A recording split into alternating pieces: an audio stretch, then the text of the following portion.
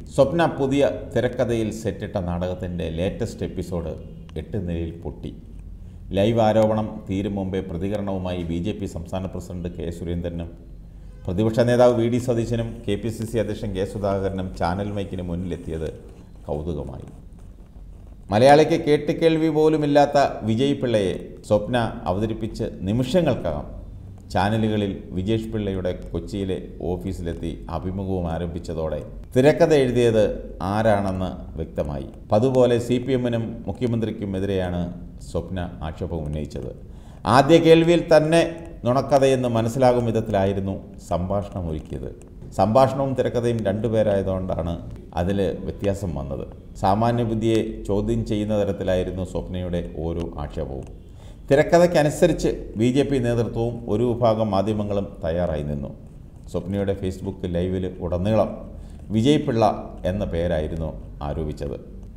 സ്വപ്ന അഭിഭാഷകൻ മുഖേന Karnataka ആഭ്യന്തരമന്ത്രിക്കും D G പിക്കും കൈമാറിയ ഇമെയിലിലും വിജയ് പിള്ള എന്ന പേരാണുള്ളത്. എന്നാൽ ലൈവ് അവസാനിച്ച് അല്പസമയത്തിനുള്ളിൽ സ്വപ്ന വെളിപ്പെടുത്തിയ ആൾ Vijay പിള്ളയല്ല Vijesh Pillai W G N infotech private limited CEO എന്ന തലക്കെട്ടിൽ ജന്മഭൂമിയുടെ ഓൺലൈനിൽ തിരുത്തു പ്രസിദ്ധീകരിച്ചു. ഇതോടെ മറ്റു മാധ്യമങ്ങളും ഈ പേരുറപ്പിച്ചു ഉടൻ തന്നെ B J P president K Surendran മാധ്യമങ്ങളെ കണ്ടു. സ്വപ്ന പറഞ്ഞ ആക്ഷേപങ്ങൾ സുരേന്ദ്രനും ആവർത്തിച്ചു. സ്വപ്നയ്ക്കെതിരെ കേസെടുത്തിട്ടുള്ള ഇ ഡി കസ്റ്റംസ് തുടങ്ങിയ കേന്ദ്ര അന്വേഷണ ഏജൻസികളാണ് ഇവയിൽ സംസ്ഥാന സർക്കാരിന് ഒരു നിയന്ത്രണവുമില്ല. മറിച്ച് സംസ്ഥാന സർക്കാരിനെതിരെ വടി കിട്ടുമോ എന്ന അന്വേഷണത്തിലുമാണ് അവർ. എന്നിട്ടും സംസ്ഥാന സർക്കാരിനും മുഖ്യമന്ത്രിക്കുമെതിരെ നിരന്തരം വിമർശനം ഉന്നയിക്കുന്നത് മറ്റാർക്കോ വേണ്ടിയാണെന്ന് വ്യക്തം. പണ്ടാരണ്ട് പറഞ്ഞതുപോലെ ആർക്കോ വേണ്ടി തിളയ്ക്കുന്ന സാമ്പാർ എന്ന് വേണം പറയാൻ. കെ സുരേന്ദ്രൻ ആരോപണം ആവർത്തിച്ചതിലൂടെ ആ മുഖവും പുറത്തായി. സ്വർണക്കടത്ത് കേസിലെ വിവാദങ്ങളിലേക്കാണ് മറ്റൊരു കണ്ണൂരുകാരൻ അവതരിച്ചിരിക്കുന്നത്. ജനനം കൊണ്ട് കണ്ണൂർ സ്വദേശിയെങ്കിലും കൊച്ചിയിലും ബാംഗ്ലൂരിലുമൊക്കെയാണ് ഇയാളുടെ താമസം. ബിറ്റ്കോയിനിലടക്കം പയറ്റിയ ഇയാൾ നാട്ടുകാർക്ക് അത്രയ്ക്ക് പരിചിതനല്ല. വിജേഷിന്റെ താല്പര്യവും ബന്ധങ്ങളുമെല്ലാം ഇപ്പോഴും ദുരൂഹമായി തന്നെ തുടരുകയാണ്. കണ്ണൂർ കടമ്പേരി സ്വദേശിയാണ് വിജേഷ്.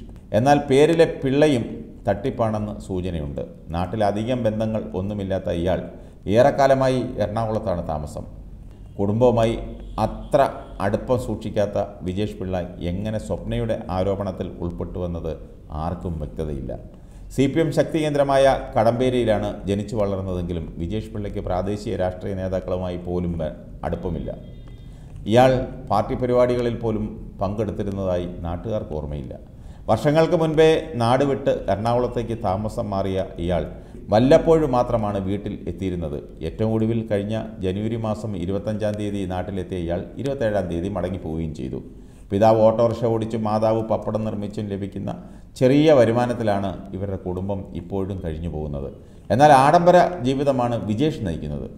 വില കൂടിയ കാറുകളിൽ സഞ്ചാരവും സിനിമാ സീരിയൽ രംഗത്തുള്ളവരും പ്രമുഖ ബിസിനസ്സുകാരുമായും ഒക്കെ സൗഹൃദം എറണാകുളം കേന്ദ്രീകരിച്ച് സിനിമാ നിർമ്മാണ കമ്പനി ഉണ്ടെന്ന് അവകാശപ്പെടൽ ഇതൊക്കെയാണ് ഇയാൾ തട്ടിവിടുന്നതെന്നാണ് നാട്ടുകാരിൽ ചിലർ പറയുന്നത്.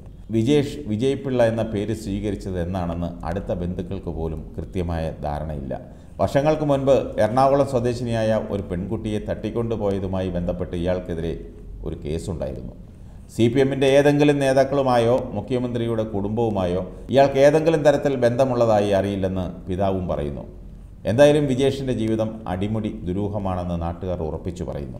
സ്വപ്ന തന്റെ ലൈവിലും പരാതിയിലും ഒക്കെ പറഞ്ഞിരിക്കുന്നത് അഡ്വക്കേറ്റ് വിജയ് പിള്ള എന്നാണ്. പരാതിയിൽ നൽകിയിരിക്കുന്ന ആക്ഷൻ ഒ ടി ടി പ്ലാറ്റ്ഫോമിലെ വിവരങ്ങൾ പരിശോധിച്ചാൽ വ്യക്തമാകുന്നത് വിജേഷ് കൊയിലേത്ത് എന്ന പേരാണ്.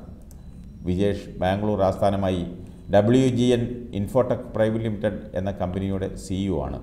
ഇതേ കമ്പനിയാണ് പുതിയ ഓൺലൈൻ സ്ട്രീമിംഗ് പ്ലാറ്റ്ഫോമായ ആക്ഷൻ ഒ ടി ടി എന്ന സ്ഥാപനവും രണ്ടു വർഷം മുൻപ് തുടങ്ങിയത്. ഇയാൾ കുറച്ചു കാലം കൊച്ചിയിലും ഓഫീസ് നടത്തിയിരുന്നു. വാടക കൊടുക്കാതെ മുങ്ങിയെന്നാണ് ആ കെട്ടിട ഉടമ പറയുന്നത്. ഇയാൾ എറണാകുളം സ്വദേശിയല്ലെന്നും അതല്ല കണ്ണൂർ സ്വദേശിയെന്നും പറയപ്പെടുന്നു. കമ്പനിയുടെ വിവരങ്ങളിൽ കാണുന്ന ഇയാളുടെ പേരിൽ പിള്ളയില്ല.